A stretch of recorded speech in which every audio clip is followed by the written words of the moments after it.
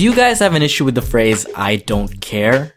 I feel like in one end of the spectrum, it means to be neutral or have no preference when a choice is presented. But on the other end, it can sound really rude, dismissive, and passive aggressive depending on the tone of how you say it. Hey, check it out. They're having a bubble tea promo. Which one do you want? My treat. Hmm, I don't care. Because I really don't care which of the two flavors I get. I like both.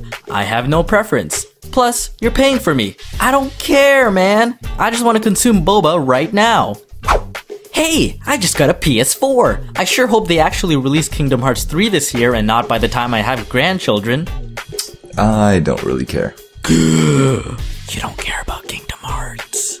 In this situation, they're showing indifference to the topic. The facts that I have presented does not concern them. They do not give a single damn about whether the game releases this year or the year 3000.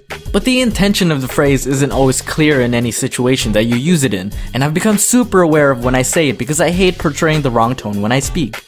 Hey babe, which one do you think looks better on me? Hmm, I don't care.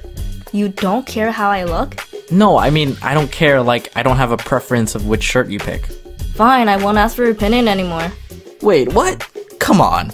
Why do I even bring you shopping with me? You don't care what I wear? Maybe I'll just not wear anything! No, no, no, no. Like, I don't care because they both look good. Okay? Damn.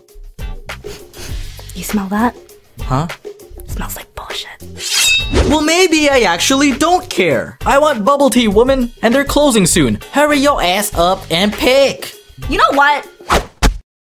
Hello.